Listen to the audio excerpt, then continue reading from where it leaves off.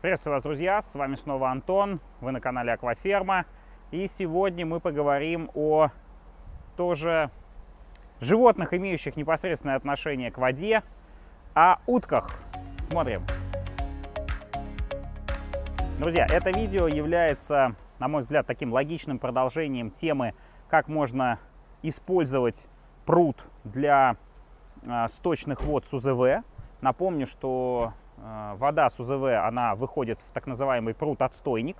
И этот пруд-отстойник, в принципе, там многие у меня в комментариях писали, а почему бы туда не закинуть рыбу, а почему бы там еще что-нибудь там как-нибудь его применить, чтобы такое можно сделать.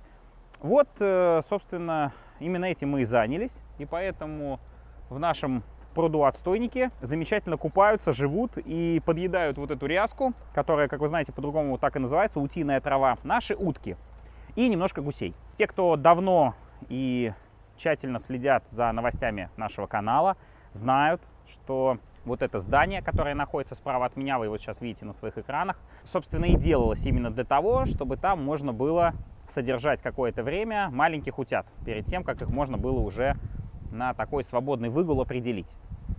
Вот э, мы уже получили определенную, определенный опыт, определенные результаты по нашему такому вот добавочному продукту к нашей акваферме. И хотел именно этим с вами и поделиться. Друзья, почему утки, почему гуси, я думаю, что объяснять не нужно, это понятно, да, пруд, вода, акваферма, ну, странно было бы, если бы у меня здесь бегали индюки. Поэтому здесь, я думаю, все понятно. Но кроме этого, а, утка, а, чем понравилась, тем, что ну, утиное мясо, в принципе, вкусное, как, кстати, и утиное яйцо. И утка имеет очень небольшой цикл выращивания от птенца, которому буквально там несколько суток, до товарной утки, которая уже идет на убой э, и из которой получается замечательная тушка. Вот э, общий цикл выращивания составляет всего лишь два с небольшим месяца. Это именно для тех уток, которых взяли мы. У нас утки муларды. Это быстрорастущая утка. Выбрали именно ее. Вот это уже за моей спиной вторая генерация этих мулардов. Причем вы на экране видите двух мулардов, которых мы оставили а, просто посмотреть, как они набирают вес после двух с половиной месяцев. И к нашему удивлению, кстати, неплохо набирают. То есть, э, по нашему мнению, можно даже чуть позже их на убой отправлять. Не в два с половиной месяца, а ближе к трем а тушка будет еще больше, то есть это будет не 3 килограмма, а мы рассчитываем где-то 3600, 3700 тушка уже будет весить. А, рядом с ними это муларды, которым буквально месяц. Вот, вот этих уточек, которых вы сейчас видите, им месяц а, от, э, от роду. А, через месяц уже буквально они дойдут до товарной навески, и можно будет тоже их всех перерабатывать. На мой взгляд, для такого рыбоводного хозяйства, где, в принципе, вот необходимо устраивать пруд, сама идея совмещения прудового выращивания и водоплавающей птицы заслуживает э, внимательного отношения э, и является перспективной, так как отвечает э, такой, э, такой интересной идее, как э, ну, такое своеобразное докручивание сельскохозяйственного производства, где у вас в одном месте идет выращивание непосредственно рыбы, рядом у вас идет э, э, использование воды от рыбы для выращивания растеневодческой продукции, а тут же рядом у вас идет э, отходы в виде э, отстойника, да, вот всего вот этого вот э, хека от барабанного фильтра для производства там какого-то вермикомпоста или для производства удобрений, а рядом у вас еще пруд-отстойник, в котором тоже замечательно там растет ряска, используется для того, чтобы э, замечательно выращивать там водоплавающую птицу. И это я, в принципе, совсем не все докруты рассказал, то есть при наличии там творческого подхода можно еще подумать, что еще тут можно э, плюс-минус э, такого делать, чтобы это стало еще более э, интересным и еще более рентабельным принципе сельское производство стало. Поэтому вот э, могу точно сказать, что по уткам э, калькуляция следующая. Вот если не считать э, момент работы, а работа здесь и так идет, потому что ну, сотрудник и так работает, и так платится зарплата, и поэтому там следить дополнительно за утками, ну, честно говоря, особого особой проблемы нет. Не так много времени это требует, несколько раз в день их покормить, убирать за ними, по сути, толком ничего не надо, они на свободном выгуле. А, да, это не круглогодичная такая история выращивания, а только сезонная. А, хотя, чем черт не шутит, может э, что-то и зимой будет получаться. А, в, в, в остальном сама утка, я уже точно могу сказать, что имеет кормовой коэффициент 4. Сама, сам корм утиный стоит всего 27 рублей. Другими словами, у вас уходит что-то в районе там 100-120 рублей на то, чтобы вырастить с птенца а, такую уже взрослую утку. Это при условии, что она, как у меня, подъедает э, все, что здесь можно подъедать. Камыши, как видите, все обглоданы, ряска а, не успевает застелить весь водоем, потому что утки каждый день поглощают ее огромными просто количествами. А, и все это еще с добавлением комбикорма получается действительно очень классный результат. Утки растут быстро, и мясо у них вкусное, сочное, потому что свободный выгул, естественно, делает свое дело. И такая птица, конечно, очень сильно отличается и по виду, и по вкусу от э, той птицы, которую выращивают индустриальным образом, в клетках, э, без э, солнца, без, соответственно, свежего воздуха.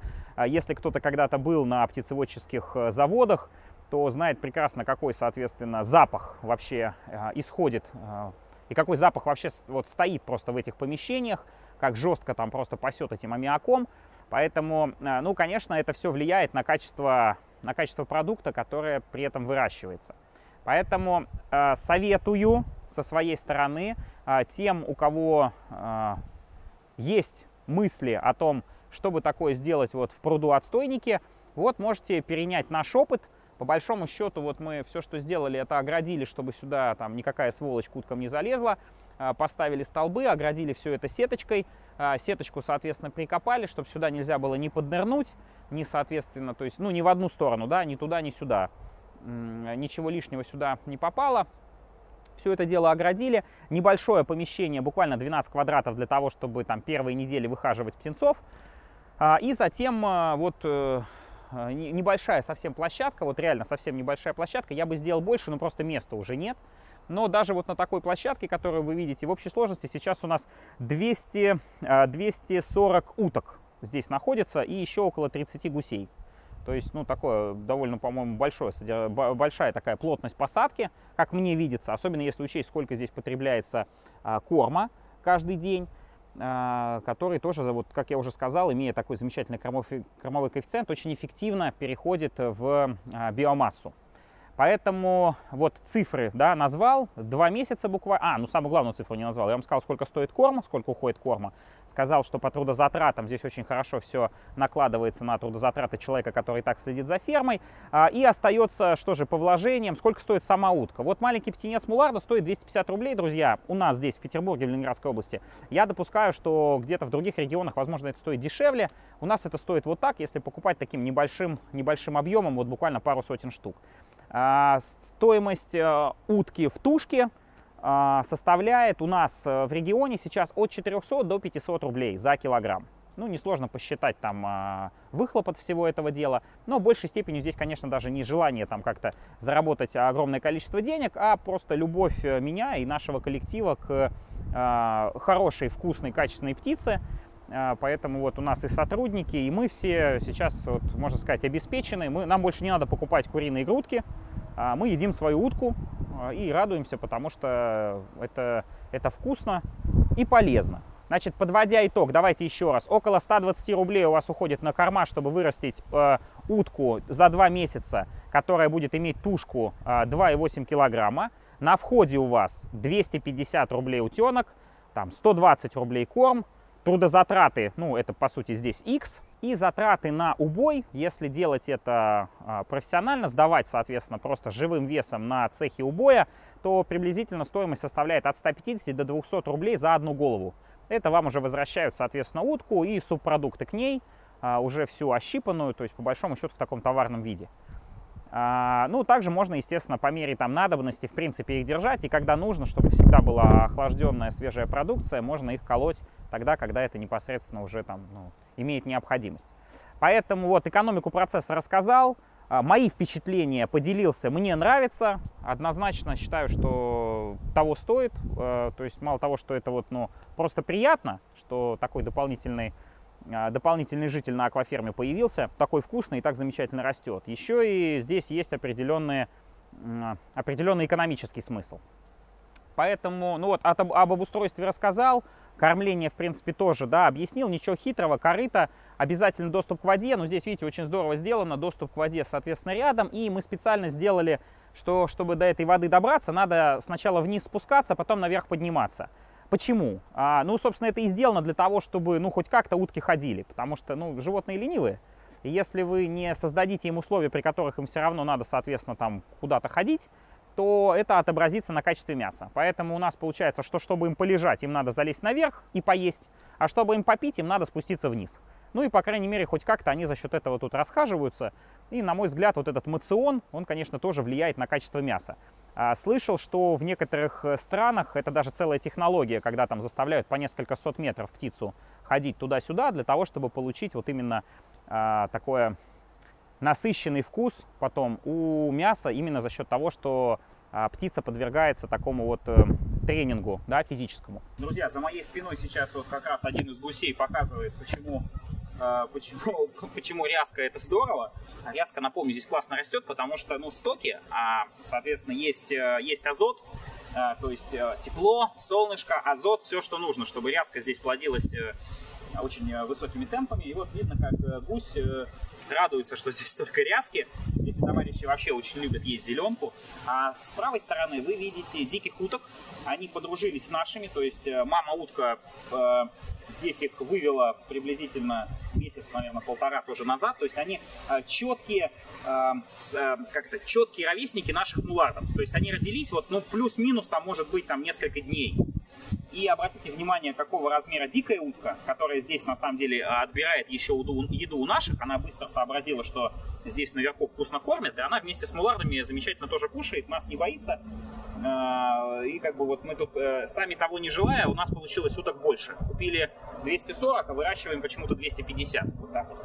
А, единственное, что эти, конечно, улетят, и они, похоже, нам не достанут. Хотя мы тоже над этим думаем, может быть, успеем просто для сравнения какую-нибудь одну себе все-таки оставить. Мне кажется, мы имеем на это право, если учесть, что приложили руку к их выращиванию. А, а так вообще вот можно посмотреть просто на разницу в размерах между дикой кряквой а, и мулардом. Кстати, давайте еще немножко про муларда, пару слов, друзья. Мулард — это гибрид а, утки пекинской и утки муксусной.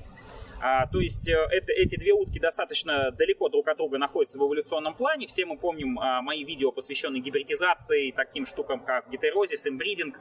А, кто не помнит, обязательно посмотрите. Ссылочка, да, в описании. Поэтому гибрид муксусной и пекинской утки, такой как мулард, он обладает очень высокими темпами роста и просто, я не знаю, чудовищной какой-то выживаемостью.